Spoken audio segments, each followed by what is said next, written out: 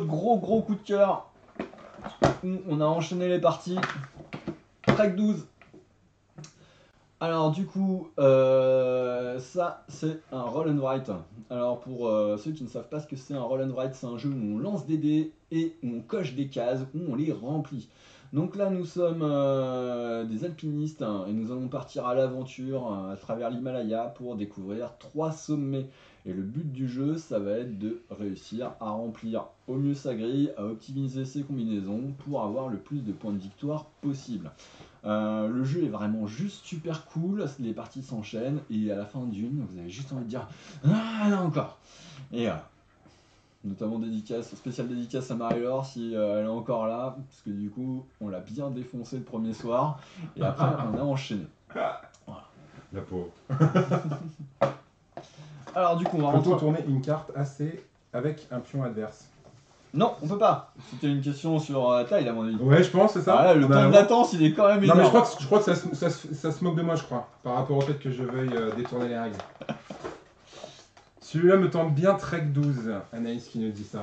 Alors, Trek 12, c'est un roll and write, et comme tous les roll and write, il a la possibilité de se jouer euh, à 2, tout seul, à 1000, euh, du moment que tout le monde a une feuille. Voilà, c'est. euh, Rappelez-vous, lors du premier confinement, on a fait beaucoup de roll and write, notamment euh, des tracks que j'adore, qui est hyper simple pour des parties hyper rapides.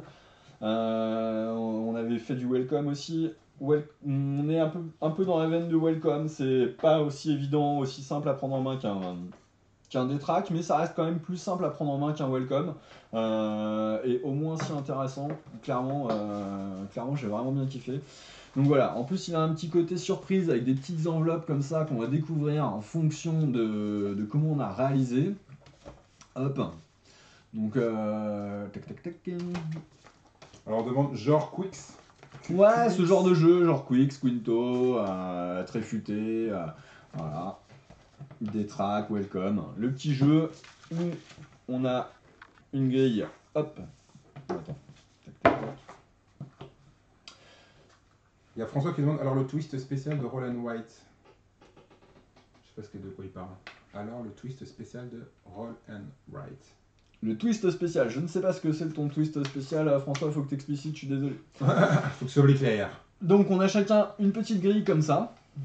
Et du coup on va pouvoir soit jouer une petite partie comme ça sur un sommet. Et du coup il y a trois sommets différents. Soit on va pouvoir partir faire l'ascension des trois sommets. Il va y avoir des objectifs de points à réaliser qui vont nous rapporter des étoiles. Et si on en fait la montée des trois, donc si on n'en fait qu'un, le but du jeu c'est d'avoir le plus grand score. Si on enchaîne les trois sommets, notre score va nous permettre de débloquer des étoiles en fonction de- des scores qu'on a fait, de si on a réussi à l'emporter cette manche-ci ou pas. Et le but du jeu dans ces cas-là, ce sera d'avoir le plus de sommets, de plus d'étoiles pardon, possible à la fin de la partie. Euh, le principe, il est très simple. Hop, s'il te plaît. Merci. Donc, il va y avoir deux dés. À chaque tour, on lance, hop, les Pardon. deux dés. Si tu bouges et que je bouge, ça va Parce que maintenant parce que j'écoutais la. Hop. Donc là, par exemple, on a un 3 avec du, sur un dé jaune et un 5 avec un dé rouge. Le premier, le dé jaune, va de 0 à 5. Le dé rouge va de 1 à 6. Dans chaque case, on va pouvoir mettre une valeur. Par contre, on peut commencer n'importe où. Il vaut mieux commencer par la base. Hop, on va se concentrer sur ce sommet-là, ça va être plus simple. Si je décide de mettre mon premier nombre ici, par la suite, je serai obligé de mettre le suivant dans une case adjacente. Je ne peux pas aller le mettre n'importe où. Donc toujours obligé. Donc pour ça, on va regarder ce petit tableau qui est ici et à chaque fois, il va falloir que je fasse d'abord une croix dans ce tableau avant d'aller mettre le nombre que j'ai choisi dans cette grille-là. Donc ici, on a 20 cases, là il y en a 19, donc il y en a une qu'on n'utilisera pas ici, mais sinon elles seront quasiment toutes utilisées. Première ligne, ça me permet de prendre la valeur la plus basse entre les deux dés. Donc là, hop, tiens, je te mets ça à côté ici. C'est bien là si je te mets ça là. Voilà, tout de suite mieux. Je vais essayer de voir si je peux être un peu calé pour pas trembler. Ah. Donc du coup, là, si je choisis de faire une croix là, je prends le plus bas, c'est-à-dire que je prends un 3. Je peux mettre mon 3 n'importe où dans ma grille puisque c'est mon premier tour. Par la suite, la deuxième ligne, c'est le plus haut. Donc là, du coup, ce serait le 5. Voilà. Si j'avais déjà un nombre rentré dans ma grille, hein, comme je vous l'ai expliqué tout à l'heure, je suis obligé de le mettre dans une case adjacente. On reviendra après sur comment on va marquer des points. Troisième ligne, je peux faire la différence entre les deux dés, ce qui veut dire que je peux faire 5 moins 3 pour faire un 2, ou je peux faire 3 moins 5, pas pour faire un moins 2, il n'y a pas de nombre négatif, mais pour faire un 0. Plus, je peux les additionner, dans ce cas-là, pour pouvoir noter un 8. Ou je peux, dernière ligne, les multiplier. 3 fois 5, 15. Le seul truc, c'est qu'on ne peut pas aller au-delà de 12. Ok. D'accord? Donc, le principe est très simple, on va remplir notre grille avec des nombres. Il y a plusieurs possibilités. Soit j'arrive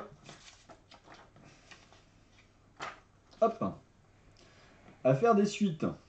Et du coup, il faut les relier. D'accord? Donc ça, ça s'appelle une chaîne. Plus la chaîne est longue, plus ça rapporte deux points. Donc là, par exemple, on a un 0, un 1, un 2, un 3, un 4, un 5, un 6, un 7. Voilà, donc là, tous ces nombres sont reliés.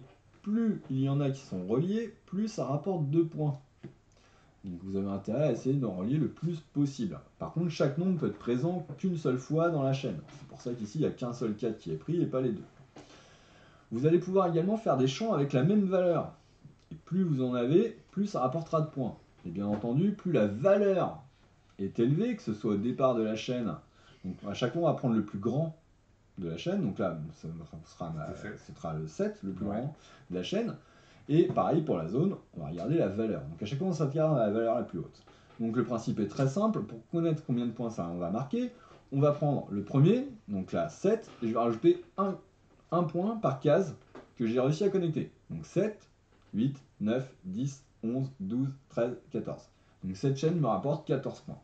Ici, ma zone, j'ai 3 cases avec un 4, donc je vais prendre 4 points de base et 1 point pareil pour chaque case qui est connectée. Plus 1, plus 1, ce qui me fait 6 au total. Le problème, c'est qu'il ne faut pas laisser de cases qui ne sont pas reliées soit par une zone, soit par une chaîne. Là par exemple ici j'avais un 1 que je n'ai pas pu relier puisqu'à côté il y avait un 8, donc ce n'est pas une zone ni une chaîne. Dans ces cas-là, cette case-là, qui est une case orpheline, me rapportera 3 points négatifs en fin de partie. Pardon. Donc voilà, donc c'est un petit jeu qui est fun, qui est rapide, qui est vraiment très chouette. En fonction. juste coupe, un chiffre peut servir à faire deux chaînes? On demande, Francky Non. Ok. Un chiffre, on ne peut servir que dans une seule chaîne. Par contre, vous êtes obligé de mettre dans les cases adjacentes, mais vous pouvez par exemple revenir plus tard. Là, par exemple, j'aurais pu mettre mon 3 ici, ensuite mon 2, mon 0, aller jouer par là parce que j'avais d'autres trucs, et seulement le tour qui m'intéressait où j'avais enfin un, venir le remplir pour bam bam bam faire ma chaîne qui monte du coup jusqu'au bout. L'idée c'est que là par exemple, avec tous mes points, j'ai réussi à dépasser le score de 70 imposé par le jeu, ce qui me permet de bénéficier de 3 étoiles quand on fait en mode euh, comme cette feuille a permis de gagner la manche, elle gagne les deux étoiles supplémentaires. Et ici, il y avait une étoile supplémentaire si j'avais réussi à battre le meilleur score qui avait été établi dans notre partie sur ce sommet-là. Ce qui n'est pas le cas pour l'instant, puisque du coup, euh, c'était la toute première partie. Mais maintenant, ce sera le score à battre pour ce sommet-là. Et c'est ça qui est plutôt intéressant, c'est qu'il est super rejouable, qui va vous donner envie de, qui va vous donner envie d'enchaîner les parties. Déjà parce qu'il est fun et qu'il se joue très très vite, mais en plus il y a plein de petites enveloppes. Je sais pas si on les a vues tout à l'heure. Euh, il y a, une question sur les enveloppes, mais euh, je pense que tu allais expliquer justement. Donc là justement, je vais expliquer les enveloppes. Donc là tout est rangé dans les enveloppes parce que euh, parce que je suis un maniaque, mais normalement en fait quand elles ont été ouvertes, elles sont gardées dans ces petites enveloppes. Alors ça va dépendre. Là par exemple, pour celle-ci, il faut réussir à avoir fait une zone avec 5 fois la même valeur dedans. Donc moi, sur la feuille qu'on a vue précédemment, j'avais pas réussi puisque ma plus grande zone était une zone de 3, qui est ici. Mais du coup, elle a quand même été établie dans une des parties, cette zone de 5, et quand on va l'ouvrir, il va y avoir des surprises. Alors, j'ai pas très envie de spoiler le jeu, c'est parce que c'est quand même un jeu enveloppe et qu'il faut avoir le plaisir d'ouvrir ces enveloppes, mais du coup, ça va venir sacrément modifier les parties, et c'est quelque chose de plutôt chouette. Voilà. Merci Francky. Francky dit qu'il en doutait que tu parleras après des enveloppes et que la question, il, voulait, il voulait embêter. Euh, ah non, non, c'était pas pour les enveloppes, c'était pour les chaînes. Il voulait faire mon Olivier.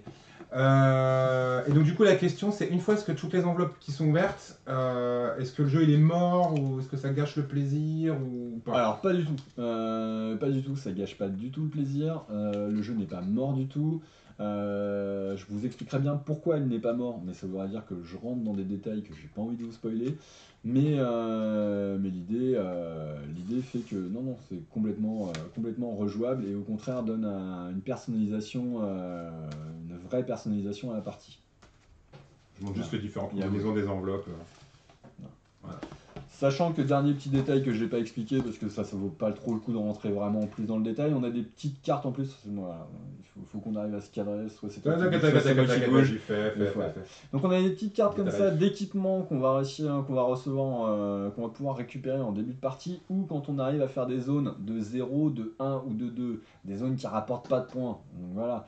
Mais du coup, pour vous inciter à faire des zones qui rapportent pas de points, en échange, vous gagnez une carte d'équipement. Ces cartes d'équipement, elles vont vous permettre de, elles vont vous permettre de, vous faciliter la partie. Il y en a qui vont vous permettre d'aller jouer dans une case euh, sans qu'elle ait besoin d'être adjacente, d'autres qui vont vous permettre d'enchaîner une, euh, chaîne euh, en étant un peu plus loin, ainsi de suite. Ces cartes-là, soit vous la jouez pendant la partie parce que vous la trouvez utile pour le stade où vous en êtes, et dans ce cas-là, bah, une fois que vous l'avez jouée, vous faites son effet immédiatement, puis elle est défaussée. Et du coup, bah, c'est cool, au moins vous a servi. Soit, en fin de manche, vous décidez de la défausser pour réussir à remporter des points de victoire supplémentaires, histoire de passer devant l'autre et gagner un maximum d'étoiles. Puisque je vous rappelle que euh, si on joue en mode euh, enchaînement de sommet, ce ne sont que les étoiles qui nous intéressent, et pas uniquement le score. Voilà